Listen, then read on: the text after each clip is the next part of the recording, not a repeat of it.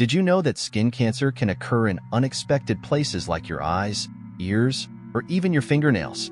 Late diagnosis can lead to more invasive treatments, so it's essential to be aware of these sneaky spots.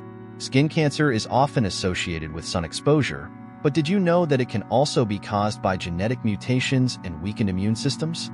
Even areas that rarely see the sun can develop skin cancer.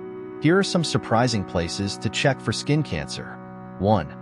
Fingernails and toenails. Look for dark, vertical streaks under your nails. 2. Ears. Check the crevices and folds of your ears. 3. Eyes. Dark spots on the iris or inside the eye can be a sign of skin cancer.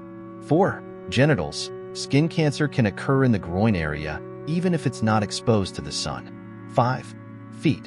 Check between your toes, soles, and the top and sides of your feet. 6. Scalp. Don't forget to apply sunscreen to your part. Remember, early detection is key. Use the ABCD rule to identify potential skin cancers.